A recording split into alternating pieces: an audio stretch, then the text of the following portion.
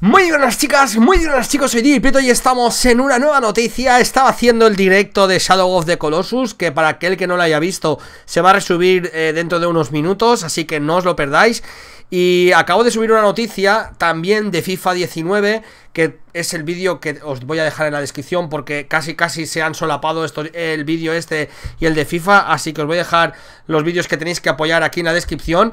Pero salta el notición el remaster de la trilogía de Spiro llegará a PlayStation 4 este mismo año, según informa ya muchísimas fuentes como Kotaku. Eh, Activision está trabajando actualmente en este Spiro de Dragon Trilogy Remaster que se anunciará en marzo de 2018 y se lanzará en el último trimestre de 2018.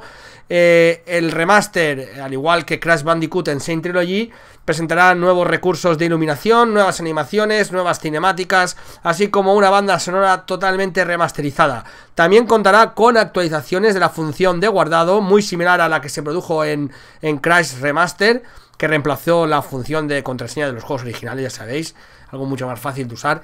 Eh, el remaster incluirá Spiro de Dragon, Riptop Rage y El Año del Dragón. Y existe la promesa tentadora de ser cierto, sería impresionante. Eh, de veremos que de que haya un cierto recorte de contenido de las versiones originales de esos juegos. Veremos qué es lo que qué es lo que acaban de confirmar. El Spiro Remaster se anunciará para PlayStation 4 con soporte para PS4 Pro en algún momento de marzo de 2018 y como bien he dicho se lanzará a finales de año.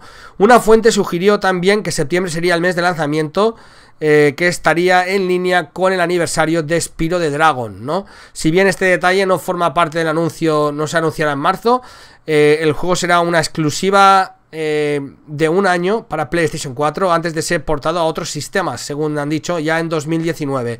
Aparentemente Crash Bandicoot en Saint Trilogy también está ligado a esa exclusividad de un año Ah, y, luego ya lo veremos en otras plataformas. Se está especulando también con Nintendo Switch. Así que muchísimas gracias a todos por estar ahí. Eh, importante noticia. Nos vemos en la siguiente. Hasta la próxima. Chao.